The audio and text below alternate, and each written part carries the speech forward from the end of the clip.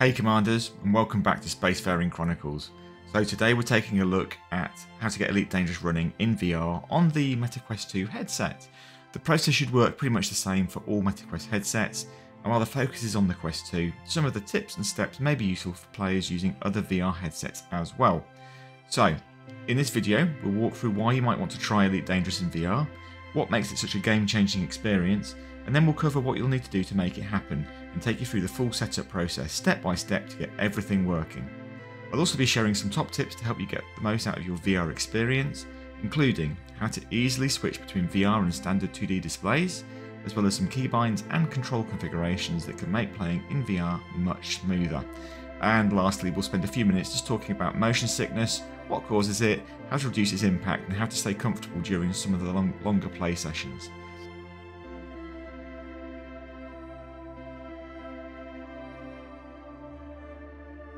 So, why play Elite Dangerous in VR? Well, Elite Dangerous was built from the ground up with VR in mind, and with one notable caveat, it offers an exceptional virtual reality experience that's absolutely worth exploring. So if you already own a VR headset and you haven't yet tried Elite in VR, you're missing out on one of the most immersive ways to experience spaceflight in any game. The sensor scale is on a whole new level, ships feel massive, space stations loom overhead with true presence, and celestial bodies like planets and asteroid belts stretch out around you with breathtaking depth. One of the more striking moments for new VR pilots is simply sitting in your cockpit and looking around. The first time you glance behind you or look up at your ship's canopy, it's genuinely jaw dropping. But VR isn't just eye candy, it can enhance gameplay too. With a much wider and more natural field of view, piloting becomes more intuitive, docking, launching, navigating asteroid belts, and even dogfighting in tight combat zones can feel smoother and more controlled thanks to the added situational awareness that VR provides. So, one thing to keep in mind before diving in is what kind of activities you're planning to do in Elite Dangerous. If your session involves a lot of jumping between the game and third party tools like Inara, EDDB, or Coriolis, then VR might not be the most convenient option. Constantly taking off your headset to check a web browser can quickly become frustrating. There are ways to bring a browser into your VR environment as an overlay, so tools like OVR Toolkit or Steam VR overlays can help, but that's a bit of an advanced setup and it's not something we'll be covering in this video. Also, there's a big caveat when it comes to the Odyssey expansion, specifically the on-foot gameplay. So while spaceship and SRV activities do support VR in Odyssey, on-foot sections do not. And once you disembark and go walking around, your VR headset essentially switches to showing a flat 2D screen floating in a virtual space. It's playable, but it definitely breaks the immersion. So the key takeaway here is flight and SRV activities are where VR shines in Elite Dangerous, and that's where you'll really feel the benefit of the immersion, whether it's dogfighting in a conflict zone, scooping fuel from a star, or tearing across a planetary surface in your SRV, it's these moments where VR truly elevates the experience. Alright, let's talk about what you'll actually need to get Elite Dangerous running in VR. First up, you'll need a VR headset funnily enough, and in this video I'm using the MetaQuest 2 but the process should be very similar for other MetaQuest headsets like the Quest 3 or the Quest Pro. And then next, let's talk about your PC hardware. So VR is fairly demanding, but Elite Dangerous is generally well optimized, so you'll want a decent, powerful machine, a reasonably fast CPU, a solid GPU, and a good chunk of RAM. My current setup runs the game on ultra settings, and I'm running an Intel Core i5 12th generation, 64GB of RAM, an Nvidia RTX 4060 GPU, and I'm running Elite off an NVMe SSD card. So don't worry if your rig isn't quite that powerful, I've also tested the game on a PC with just 16GB of RAM and a GTX 1050 Ti, and I was still able to play comfortably on medium to high settings. Your mileage is going to vary depending on your hardware, but you don't need top of the line gear to enjoy Elite in VR. I've done this on both Windows 10 and Windows 11, and the process works with copies of Elite Dangerous launched with the Frontier launcher and also through the Epic Games launcher. I haven't tested it with the Steam version, but there's no reason why it shouldn't work in exactly the same way. Because you'll be wearing a headset, you'll really want to be comfortable with your controls. I highly recommend using a HOTAS setup or at least a games controller. Trying to fly a spaceship with just using a keyboard and mouse while blind to the world around you is not something I'm going to suggest. So let's talk about connectivity then. One of the key parts of the setup is how your headset connects to your PC. And there are two main options here. So firstly you could use a wired connection using a USB-C cable and this works really well and it's the most stable. Or secondly, you can use a wireless connection using what they call AirLink and this gives you the freedom to move around without cables getting in the way. I personally use AirLink most of the time and it works great, but there are a couple of important things to note for best performance. Firstly, your PC should be connected to your network via an Ethernet, that's a, a wide connection.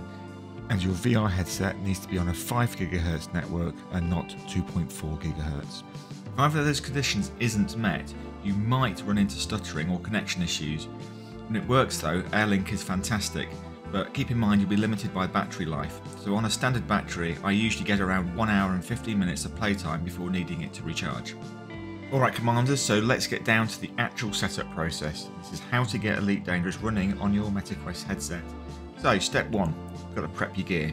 Make sure your MetaQuest headset is fully charged and that both the headset firmware and the Meta software are fully up to date.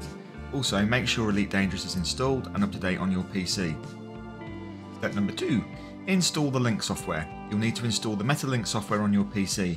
I've dropped the link for that in the description below, and once that's installed, you give your PC a reboot. It helps to ensure that everything's registered and ready. Step number three, connect your headset. Launch the MetaLink app on your PC and follow the steps to connect your headset. You'll need to approve the connection both in the app and inside the headset itself. Just follow the on-screen prompts, and once connected, it should show your headset as connected in the app. Step number four, open the desktop mode in VR. So you put your headset on and you launch desktop mode from your Meta interface. This essentially brings your PC desktop into VR, giving you access to your desktop and apps.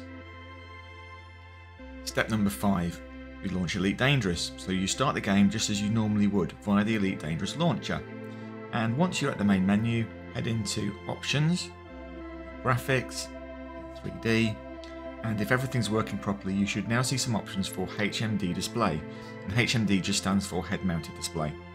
Select the appropriate setting for your headset, in my case I using the MetaQuest 2 I choose HMD with speakers, and as soon as you select that option the game should transition to full VR mode, and you're in. So welcome to the cockpit commander. And then step 6 it's going to be time to tweak.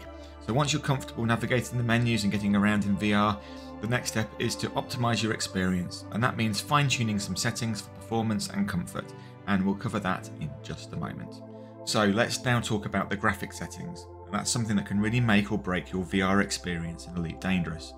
I've shared the exact graphic settings I use down in the description below, but just a heads up, these are tailored to my specific PC rig, so your results may vary depending on your setup.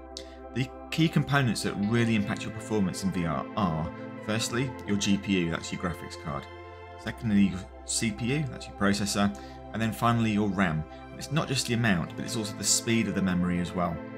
It's worth doing a bit of research to find the recommended settings for your particular configuration. There are great community forums and Reddit threads out there full of helpful information. If you're seeing stutters or frame rate drops in VR, you may need to dial things back a bit. Smooth performance is way more important than ultra visuals when you're in the headset, the immersion matters far more than the shadows on your dashboard. Alright commanders, here's top tip number one, and it's a game changer if you're planning to switch between playing Elite Dangerous in VR and then on a regular 2D monitor. So download and install ED Profiler.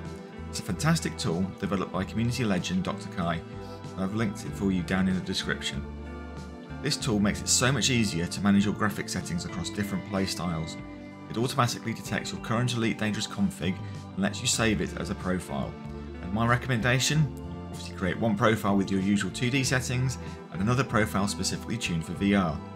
And then, before launching the game, just open ED Profiler, choose the profile that you want, click apply and you're good to go. No more manually adjusting sliders and toggles each time you swap between VR and flat screen. It also lets you tweak other options like HUD colours and more. It's super handy. And as a bonus, ED Profiler comes with a default VR profile built in. It's a great starting point. You load that up, test it out, and then tweak the settings to suit your own headset and PC setup. Trust me, it'll save you time and make your experience much smoother in the long run. One point to note, when using this tool for the first time, it can look a bit complicated, and also it exhibited some strange behaviour when creating and saving the profiles, my advice would be to use the following process to create your first two profiles, one for normal 2D gameplay and one for VR gameplay. So firstly, open ED Profiler. You click on Detect Current Settings and this loads the config that you use in the game currently. Click on Save to Existing Profile and select 2D. When you click on the default 2D profile it will now load that configuration. Next, you click on one of the VR buttons on the right hand side. I'm using VR High as an example in this video. This loads up the default settings of VR High into the ED Profiler program. You click again onto the Save Existing Profile button, and this time you click on the VR button. You've now configured your default VR profile. To apply these settings to the Elite Dangerous game, you choose the default profile that you need, in this case I'm selecting the default VR profile, and click on the Apply button. ED Profiler will then update the Elite Dangerous configuration file for graphics settings, and when you load up the game it should use those settings. When you want to switch back to 2D mode, close the game down, load up ED Profiler, click on the default 2D profile button and then click on apply. And when you load up Elite Dangerous it will then have the settings for playing Elite Dangerous in your normal 2D mode. You can create further or additional profiles, you simply set the graphic settings that you want to apply, you click on the Save as New Profile button and enter a name for the profile. This means you could have different profiles for different VR headsets. It also means you could more easily test different configurations to see what suits your PC setup. It's here where I've seen some strange behaviour around how the software manages profiles. My advice would be once you've created a new profile and saved it, then close down the ED Profiler software before reopening it again. This appears to solve the problem for me. The software can appear to be a bit complicated to start with, but it's worth spending some time learning your way around it and some of the intricacies because once it's working properly, it saves you a lot of time. Alright commanders, let's talk about actually playing the game in VR, because this is where things really change. Switching from 2D to VR feels like stepping into a whole new game, and even simple actions like taking off or docking at a station suddenly feel epic and immersive. That's before you get into a dogfight in a resource extraction site, or head out mining, or just go bouncing across the surface of a planet in your SRV. But, and this is important, the biggest challenge isn't the visuals, it's the controls. You need a setup that you're completely comfortable with. Ideally, your muscle memory should do the work, because in VR you can't just glance down at your keyboard. So, a HOTAS setup or a games controller is absolutely ideal here. If you're playing with a mouse and keyboard, it's totally doable, but you'll need to be very familiar with your keybinds because fumbling around for the right key in VR can be very frustrating. Take some time to fine tune your bindings and get them to feel natural, and trust me, the more confident you are with your controls, the more immersive and enjoyable your VR experience is going to be. Okay, so here's a quick but essential tip that will save you a lot of frustration during your VR sessions. From time to time, you'll notice your view in VR drifting slightly, or maybe it just feels off centre, and that's totally normal. But thankfully, the devs at Frontier have included a way to recenter your view with a simple keybind. This lets you quickly reset what the game considers your forward facing direction. It's super useful if you've shifted in your seat or if your headset position gets misaligned. So, my advice set this as something easy to reach, a button you can find by touch alone. For me, I've mapped it to the reset button on my Logitech X52 HOTAS throttle. It's always close at hand. You'll find this setting in Options, Controls, Ship Controls, Miscellaneous, and then Reset HMD Orientation. Take a minute to bind it before you launch into the black, it'll save you a ton of hassle mid flight. So, top tip number three configuring the mode switches. So, this one's all about controlling those cockpit panels that pop up when you look around in VR. By default, when you glance in the direction of a panel, it automatically opens, which can be super handy, but I find it can also get a bit distracting during intense gameplay. So, if you want to turn off the automatic panels, here's how. You go to Options, Controls, Ship Controls, Mode Switches, Looking at Panel, and set those to Does Nothing. And this way, panels won't just pop up when you look around. But of course, if you do this, you'll need another way to bring up those panels manually when you want them. So the default keybinds, which is 1, 2, 3 and 4 still work, but they're not very VR friendly since you can't easily see the keyboard. Instead, you can set up a keybind on your HOTAS or a controller under the same menu. So if you go to Options, Controls, Ship Controls and Mode Switches, look for the UI Focus keybind. I've mapped it to the E button on my HOTAS. And here's the trick. Pressing your UI Focus button plus your UI navigation control, like a hat switch on your HOTAS, will bring up the panel you want to interact with. and when you're done, you just press the UI focus button again to close it. This setup lets you keep control of your cockpit displays without panels popping up randomly, so it's great for staying focused and immersed. Okay, so top tip number four, dealing with motion sickness. So motion sickness is common in VR, especially in Elite Dangerous, with all the rolling around and quick movements. Luckily, the game and the headset offer several ways to help reduce it. Within the game then, you can set some settings. Disable GUI effects to simplify your view, turn on reduce camera shake for a steadier image, use vehicle motion blackout to limit peripheral vision and reduce nausea, enable vehicle maintain horizon camera to keep your view level during sharp maneuvers, and then you can disable idle hand animations to avoid distracting hand movements. And then on the headset itself, you can check and adjust your IPD, that's your interpupillary distance, and small tweaks with this can reduce nausea and improve clarity. And improve your head strap. Secure fit prevents headset movement that can worsen motion sickness. If you don't have a better strap yet, tighten the default one as much as possible. And then you can play smart. Uh, you can start with short sessions and take breaks if you feel sick, and gradually you'll find that your tolerance will improve. And obviously, try and avoid longer sessions or intense VR experiences until you're comfortable. And as a bonus tip, some people have found that having a fan blowing air onto them helps to reduce the nausea as well. Remember, VR motion sickness varies by person, so try different settings and approaches to find out what works best for you. That's it for this video, thanks for watching. If you have any great Elite Dangerous locations or VR experiences to recommend, please drop a comment below.